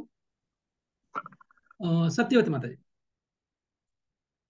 తావద్ధాస్యామహం జజ్ఞే తత్రాపి బ్రహ్మవాదినాం చక్నే తత్ర బ్రహ్మవాదినాం శుశ్రూషయానుషంగేణ ప్రాప్తోహం బ్రహ్మపుత్రతాం శుశ్రూషయాన జంఘేణ ప్రాప్తోహం బ్రహ్మపుత్రతాం దాసి గర్భంలో శూద్రునిగా జన్మించినప్పటికీ వేద జ్ఞాన పారంగతులు అగు వైష్ణవుల సేవలో నెలకొంటిని. తత్ఫలితముగా ప్రస్తుత జన్మమున బ్రహ్మదేవుని తనయునిగా జన్మించే అవకాశము పడిచితిని. భాష్యము. శ్రీకృష్ణ భగవానుడు భగవద్గీత తొమ్మిది పాయింట్ ముప్పై ఎనిమిది.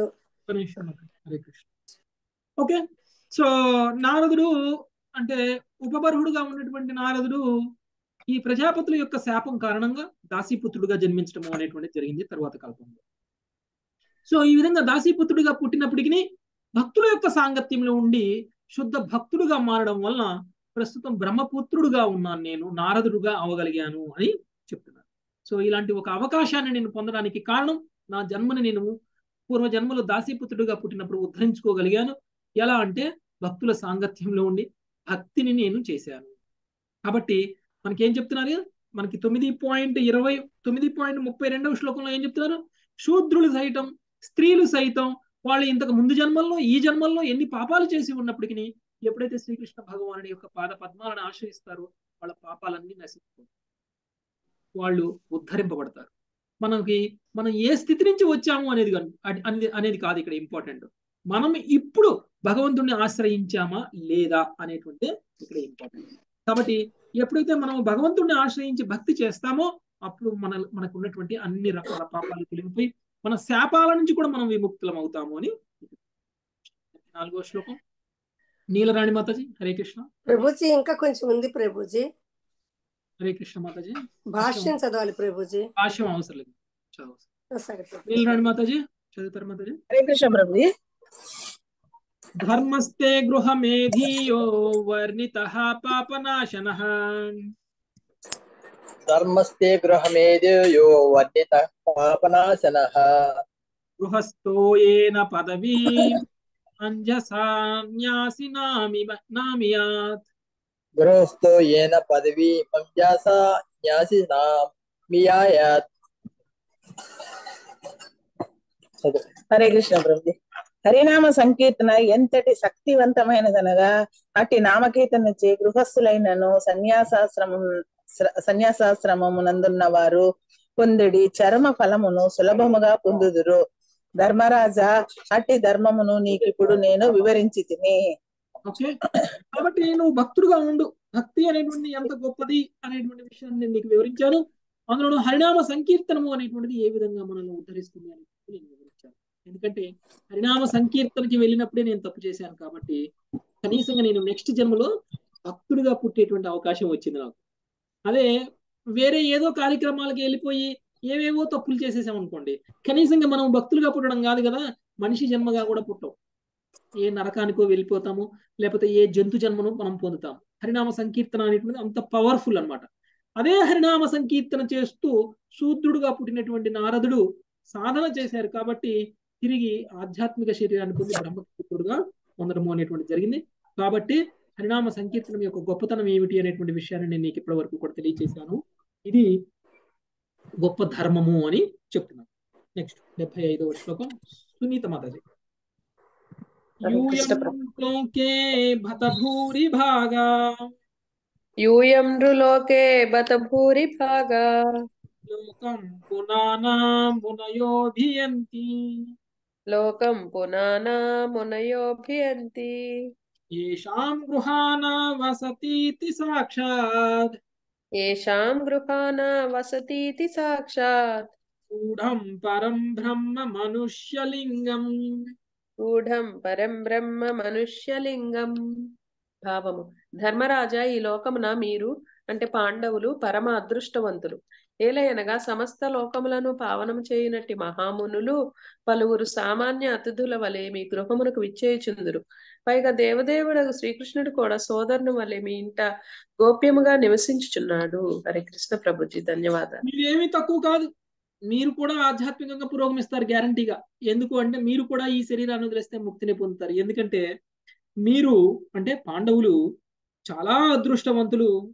సమస్త లోకాలని పావనం చేసేటువంటి మహా మహామునులు సామాన్య అతిథుల వలె మీ గృహంలో విచ్చేస్తూ ఉంటారు. గొప్ప గొప్ప మునులు కూడా మీకు ఇంటికి అతిథుల్లా వస్తూ ఉంటారు. అంటే వాళ్ళ సాంగత్యంలో ఉన్నటువంటి మీరు ఇంకా ఎందుకు మీరు భక్తులు కాకుండా ఉంటారు? పైగా మీరు దేవదేవుడైనటువంటి శ్రీకృష్ణుడు కూడా సోదరుడులా మీ ఇంట గోప్యంగా నివసించుచున్నాడు. మీకు తెలియకుండానే మీ ఇంట్లోనే శ్రీకృష్ణుడు అంటే శ్రీకృష్ణుడిని మీరు సోదరుడు అనుకుంటున్నారు కానీ శ్రీకృష్ణుడు దేవదేవుడు. అంటే గోప్యంగా తిరుగుతూ ఉన్నారు మీ ఇంట్లో అంటే? ఒక సామాన్యమైనటువంటి వ్యక్తిలా మీ ఇంట్లో తిరుగుతూ ఉన్నారు. కాబట్టి మీరు మీరు గొప్ప వైష్ణవులు. ఎందుకంటే వైష్ణవులకి సేవ చేస్తున్నారు. స్వయంగా శ్రీకృష్ణ భగవానుడే మీ ఇంట్లో ఒక సోదరుడిలా తిరుగుతున్నారు కాబట్టి. సో పాండవుల యొక్క దివ్య స్థితి గురించి నారదుడు ఇక్కడ చెప్తున్నారు. ఇంకా ఏం చెప్తున్నారు నారదుడు పాండవుల గురించి చూద్దాం. డెబ్బై ఆరవ శ్లోకం. హైమవతి మాతది సవా అయం బ్రహ్మ మహద్విమృగ్య. సవా అయం బ్రహ్మ మహద్విమృగ్య. కైవల్య నిర్వాణ సుఖానుభూతి. కైవల్య నిర్మాణ నిర్వాణ సుఖానుభూతి. ప్రియా సుహృత్వ కలుమాతులేయ ప్రియాః సుకృత్వా ఆత్మార్హణీయో ఆత్మార్హణీయో ముక్తి కొరకు దివ్యానందము కొరకు మహర్షులు అన్వేషించుతున్నట్టు దేవదేవుడు పరబ్రహ్మమునైన శ్రీకృష్ణ భగవానుడు మీకు శ్రేయోభిలాషిగను మిత్రునిగను మేనమామ కుమారునిగను హృదయము మరియు ఆత్మగను పూజనీయుడవు నిర్దేశకునిగను గురువుగను వర్తించుట ఎంతటి అద్భుతమైన విషయము? హరే కృష్ణ ప్రభు. ఎవరైతే భగవంతుడి కోసం అన్వేషిస్తూ ఉంటారో ఎవరైతే ముక్తిని పొందాలి అని అన్వేషిస్తూ ఉంటారో ఆ అన్వేషణ ఎవరి కోసం చేస్తుంటారు? శ్రీకృష్ణ భగవానుడి కోసం. అలాంటి శ్రీకృష్ణ భగవానుడు మీకు శ్రేయోభిలాషిగా మీకు మిత్రుడుగా మీకు మేనమామ కుమారుడుగా మీ హృదయంలో మీ ఆత్మగా పూజనీయుడుగా నిర్హే నిర్దేశకుడుగా గురువుగా మీ అందరికీ కూడా వర్తిస్తూ ఉన్నాడు. అంటే అందరూ అలాంటి సిచ్యువేషన్ పొందాలి అని తపస్సులు చేస్తారు. కానీ మీరు మాత్రం మీరు మాత్రం దాన్ని పొందగలిగారు. చాలా ఈజీగా పొందగలిగారు అని చెప్తున్నారు. అంటే ఒకవేళ మనం కూడా అలాంటి భక్తిని పొందాలి అలాంటి పాండవుల యొక్క స్థితిని పొందాలి అని గనక మనకు కూడా ఒక సంకల్పము ఒక కోరిక గనక మనకు ఉందనుకోండి కృష్ణుడు మనకి ఆ అవకాశాన్ని కల్పిస్తారు. ఎలా? మన దగ్గరికి గురువుని పంపిస్తారు. గురువు మాధ్యమం ద్వారా మనం కూడా అర్హతను సంపాదించేలా చేస్తారు. ఆ తర్వాత కృష్ణుడు మనం కోరుకున్నటువంటి రిలేషన్లో మనకి ప్రతిస్పందిస్తారు. పాండవులకి అన్ని రకాలుగా రిలేషన్స్లో ఎలా ఉన్నారో మనకి కూడా మనం కోరుకున్నటువంటి రిలేషన్లో భగవంతుడు మనకి నిత్య సంబంధాన్ని కలిగి ఉన్నారు. ఆ సంబంధం అనేటువంటిది మనకి రివీల్ అవుతుంది. అందుకనే మనకి రెండవ అధ్యాయంలో తేషాం సతతయుక్తానాం భజతాం ప్రీతిపూర్వకం దదామి బుద్ధి యోగంతం ఏన మాముపయాంతితే సో ఎవరైతే ఆ నిరంతరం ఆసక్తిని కలిగి ఉంటారో వాళ్ళకి నన్ను చేరుకునేటువంటి మార్గాన్ని నేనే చూపిస్తాను అనేటువంటి విషయాన్ని శ్రీకృష్ణ భగవానుడు తెలియజేశారు ఎలా?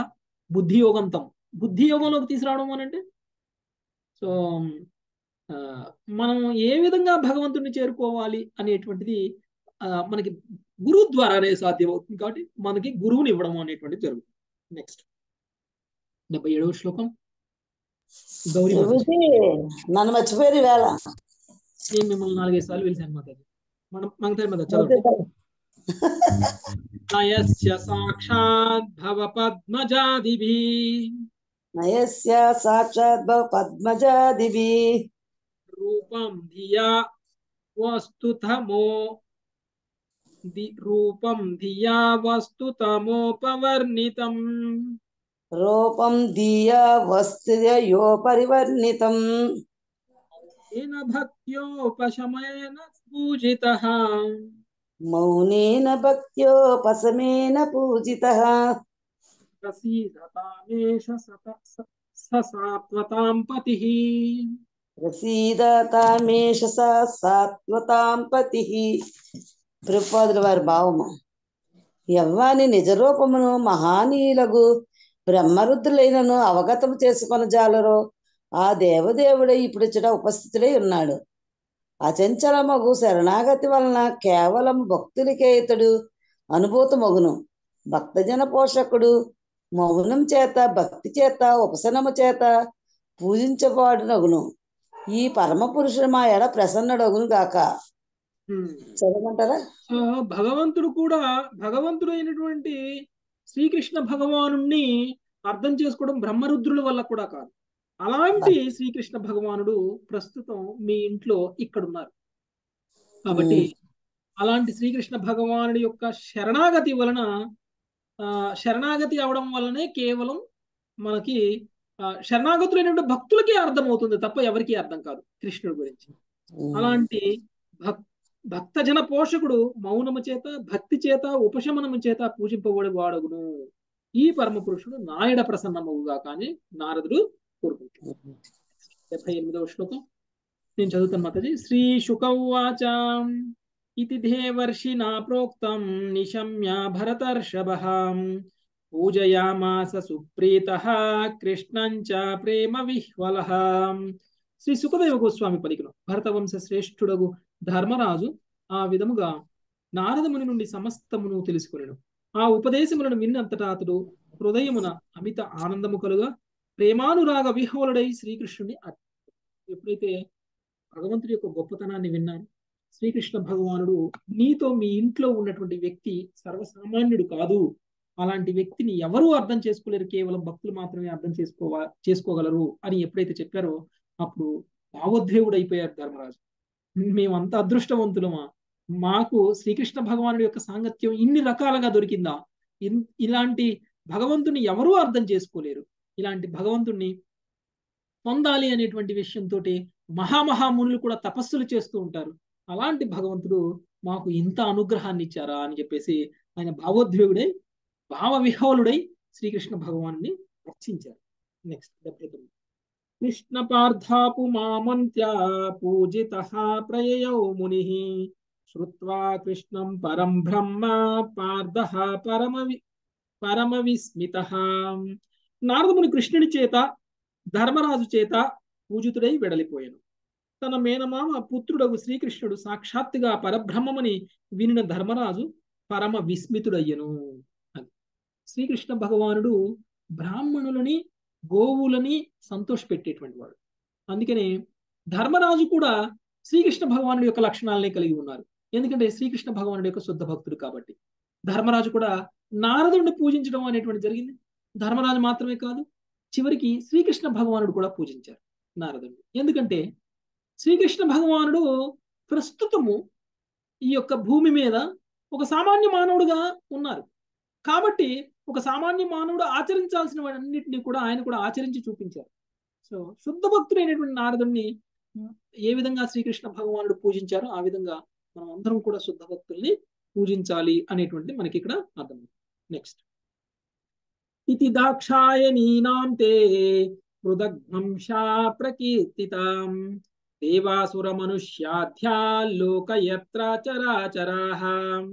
దేవతలు దానవులు మనుష్యులతో పాటు విశ్వమునందలి సకల లోకములలోని చరాచర జీవ రాశి అంతయు దక్షపుత్రికల నుండియే ఉద్భవించినవి. వారిని గూర్చి వారి వేర్వేరు వంశములను గూర్చి నీకు వివరించేది సో దక్షపుత్రికలు గురించి వాళ్ళ యొక్క వేరువేరు వంశాల గురించి ఇప్పటి వరకు కూడా నేను నీకు వివరించాను అని సుఖదేవ గోస్వామి పరీక్షిన్ మహారాజుకి తెలియజేస్తున్నారు శ్రీమద్ భాగవతం నందలి నాగరిక మనుజులకు ఉపదేశములు అను సప్తమ స్కందములోని పదునైదవ అధ్యాయములకు భక్తి వేదాంత భాష్యము సమాప్తము. ఏడవ స్కందం పదిహేనవ అధ్యాయం కంప్లీట్ అయిపోయింది. సో దీంతో సప్తమ స్కందము కూడా సమాప్తము. మనము ఇక ఎనిమిదవ స్కందము అనేటువంటిది మనము రేపటి నుంచి స్టార్ట్ చేసుకుందాం. అందరూ తప్పకుండా జాయిన్ అవ్వండి. ఎనిమిదవ స్కందం చాలా బాగుంటుంది చాలా చాలా బాగుంటుంది. ఎనిమిదవ స్కందంలో మనకి ఆ గజేంద్ర మోక్షం వస్తుంది. తర్వాత ఆ క్షీరసాగర మదనం వస్తుంది. చాలా గొప్పగా ఉంటుంది ఎనిమిదవ స్కందము. అందరూ కూడా ఇంతకంటే ఎక్కువగా ఎంజాయ్ చేస్తారని నేను అనుకుంటున్నాను. తప్పకుండా అందరూ రేపటి నుంచి రెగ్యులర్గా జాయిన్ అవ్వండి మాతాజీ హరే కృష్ణ. ఎవరికైనా ఏమైనా ప్రశ్నలు ఉంటే తీసుకుందాం. వాంఛకల్పతరుభ్యశ్చ కృపా సింధుభ్యైవ చ పతితానాం పావనం వైష్ణవ. హరే కృష్ణ.